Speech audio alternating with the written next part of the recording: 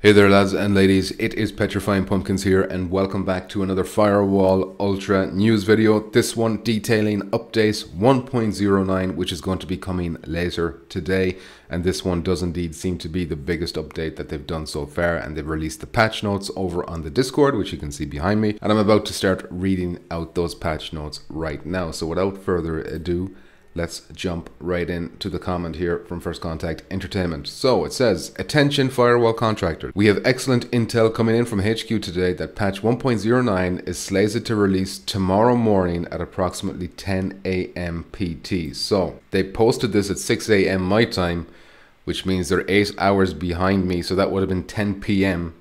California time.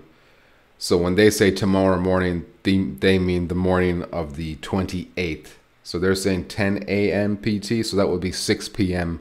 my time. So that's coming today, basically, in less than six hours from when I'm recording this video. So, you know, I'll get to test it out tonight. This is our biggest one yet. Our maintenance window for deployment will start at approximately 10 a.m. PST and will end by approximately 10.30 a.m. Please make sure you finish any matches, exit to the hub and close the app entirely prior to 10 a.m. And then below he says, we are aware that many users have experienced a reset of their reputation level one or more times since launch. This patch will provide safeguards against this issue from occurring in the future, but we are also looking on a process to restore affected users' lost reputation points so that players' reputation levels will be reflective of all their accumulated progress to date. Please stay tuned for details to come and then we jump in to the patch notes for 1.09 themselves.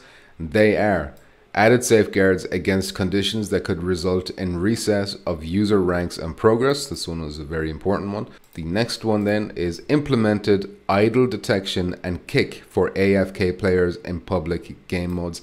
Thank God AFK players are going to be dealt with finally. Addressed issue where AI did not detect AFK players in exfil. Temporarily limited the maximum squad size to three players for public exfil to avoid an issue that will be fixed soon. So right now if you play public exfil and you've got a squad of four players, something is broken there, it's not working. Uh, but if you do it with three players, apparently it works. So they're forcing you to do it with three players now to get it to work until a fix is uh, brought in.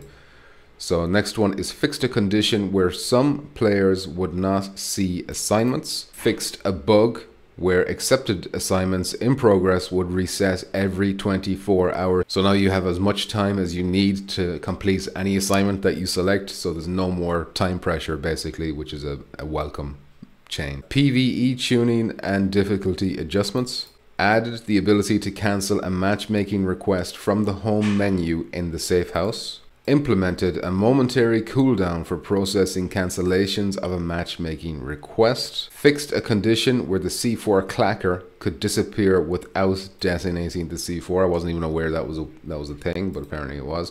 Fixed an issue where ADS appeared to be twisted sideways in third person for left-handed players. So that'll address some of the jank you might be seeing out there addressed an issue with the pose of the tar glasses in the tutorial. I don't even know what that means, I'm being honest. Corrected some hand poses on weapons to address some clipping issues. Addressed issues pertaining to handguards and rail attachments on the XM or 90 and Stalker. So I assume that means the floating laser on the P90s will no longer be an issue. Uh, address some minor LOD issues on some weapon attachments. So LOD is what load on detail or something like that. So popping basically detail popping. Fixes for LOD popping, bad reflections, and player collision on several maps. Added a user facing option to change the behavior of the quick swap button. So this one is interesting. We were just complaining about this last night in the podcast how we don't want it. The circle button, if you tap the circle button, you bring out your knife. We were thinking it'd be more useful if you could bring out like your handgun or grenade or something. Uh, but now it seems you get, you get an option to change that, so it's going to be interesting to see what the options are going to be there. Disabled the invite option from within a public lobby, so it seems once you're inside the lobby, you won't be able to invite people anymore. Maybe that was causing issues. Blood effects have been updated and added to projectiles. I don't really understand this, uh, what they mean by projectiles here. Blood effects have been updated and added to projectiles. Well, I'm listening. I'm all for more blood effects. Uh, I just don't know what the, the projectiles are. You know, bullets are the only thing I can think of. skill descriptions have been updated. Additionally, you'll notice that we are temporarily limiting the squad size in public exfil games to a maximum of three players. We are aware of the issue preventing squads of four players from starting public exfil matches, but we're actively working to have the, that issue addressed very soon. So until that fix arrives, the mode will be grayed out if your squad is greater than three players. So there is quite a lot there. Um, probably some of the most important ones being the AFK, the rank recess, very important. Uh, luckily, I've avoided it myself, so it looks like I won't ever have to worry about rank resets. But some people out there, very understandably, very upset about those resets. And fingers crossed, they'll be able to reapply the losses that they suffered, so that they won't have to, you know, just start from scratch again entirely. I'm also really interested in the quick button. Yeah, the user facing option to change the behavior of the quick swap button. So yeah, I'm definitely looking forward to testing out update 1.09 tonight on the channel and hopefully we will notice a lot of these improvements and the game will just, you know, it's a step closer to getting the game where we need it to be and uh, it's not a bad step at all, I don't think. Let me know your thoughts on this one in the comments below.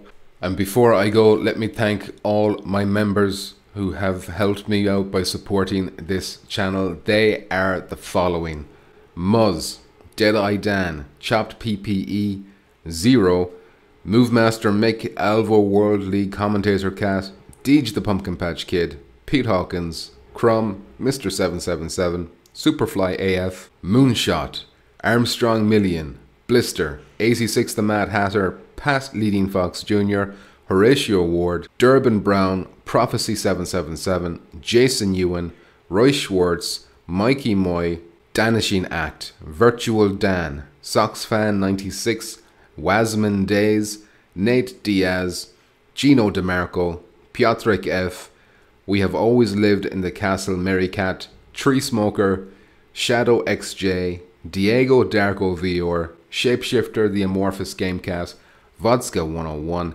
Jack Namau, Freps Nominal, Skeletor, Rudy Tay, Mr. Tortoise the Game Turtle, Infinity Lefty, and Edify Till I Die. Thank you very much for becoming members. If you would like to become a member and help support the channel too, you can hit the join button below this video and it will be greatly appreciated and you get perks and whatnot. That is it for this video, lads and ladies. Thank you very much for watching. I'll see you out there in Firewall Ultra. Stay tuned. If you want more Firewall Ultra stuff, you know, this is the place to be. Until then, please stay nice and moist.